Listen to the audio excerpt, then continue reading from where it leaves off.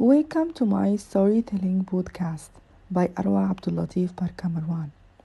This video was created as of computer assisted language learning requirements taught by Dr. Entisar Elsherif.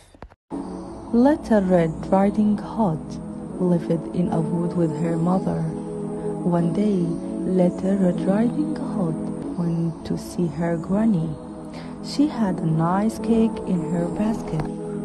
On her way, Little Red Riding Hood met a wolf. Hello, Said the wolf, where are you going? I'm going to see my grandmother. She lives in a house behind those trees.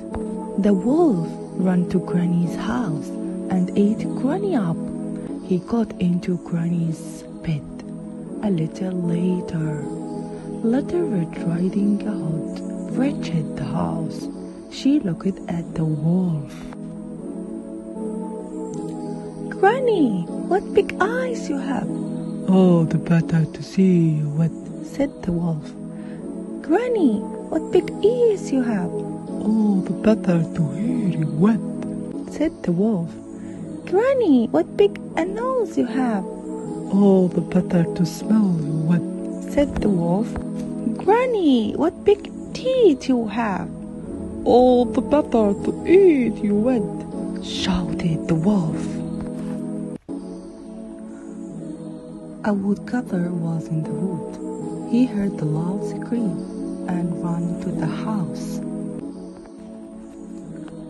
The woodcutter hit the wolf over the head. The wolf opened his mouth wide and shouted, and Granny jumped out. The wolf ran away, and Little Red Riding Hood never saw the wolf again.